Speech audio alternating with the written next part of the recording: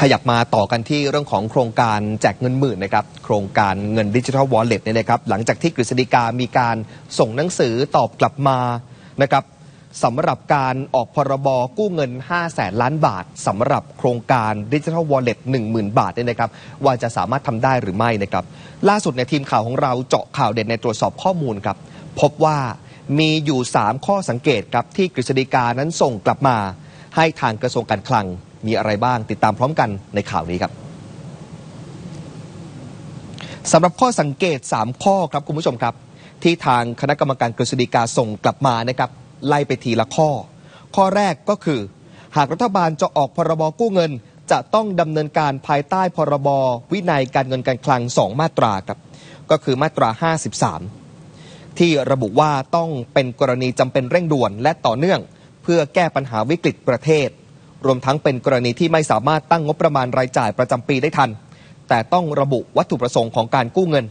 ระยะเวลาการกู้ แผนการใช้เงินที่กู้มา วงเงินที่ต้องใช้รวมไปถึงหน่วยงานที่รับผิดชอบโครงการส่วนอีกมาตราครับ มาตรา 57 คุณผู้ชมดูนะครับ มาตรา 57 ระบุว่า การกู้เงินตามมาตรา 53 จะทำได้เฉพาะเพื่อใช้จ่ายตามโครงการที่มีความคุ้มค่าทางเศรษฐกิจและสังคม โดยหน่วยงานเจ้าของโครงการต้องมีความพร้อมทำตามแผน สอดคล้องกันกับข้อสังเกตที่ 2 ครับ ที่รัฐจะต้องประเมินผลโครงการทั้งก่อนและหลังทำโครงการว่าคุ้มค่าหรือไม่ และข้อสังเกตที่ 3 ครับก็คือ รัฐจะต้องรับฟังความคิดเห็นอย่างรอบด้าน ทีนี้จากข้อเสนอแนะทั้ง 3 ข้อนี้ครับที่ทางฝั่งรัฐบาลเนี่ยนะครับ มองว่าเป็นการไฟเขียวจากกฤษฎีกา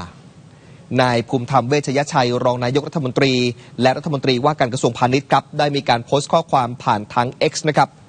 ระบุบอกว่า ดีใจกับประชาชนที่ฝันกำลังเป็นจริง ได้เงินดิจิทัลวอลเล็ต10,000 บาท เพราะกฤษฎีกาผ่านฉลุยให้ออกพรบกู้เงิน แต่อีกฝากหนึ่งครับพักฝ่ายค้านนางสาวสิริกัญญาตันสกุลในฐานะหัวหน้าทีมเศรษฐกิจของพรรคก้าวไกลมองต่างครับ เพราะว่า มองว่าจากความเห็นของกฤษฎากาอากฤษฎีกาทั้ง 3 ข้อนะครับ รัฐบาลไม่ได้รับประโยชน์ เพราะไม่ใช่การชี้ชัดว่ารัฐบาลสามารถออกพรบกู้เงินได้ โดยกฤษฎีการะบุเพียงว่าหากเป็นไปตามพรบวินัยการเงินการคลัง จึงจะสามารถทำได้ ซึ่งเป็นการตีความตามข้อกฎหมายเพียงเท่านั้นครับ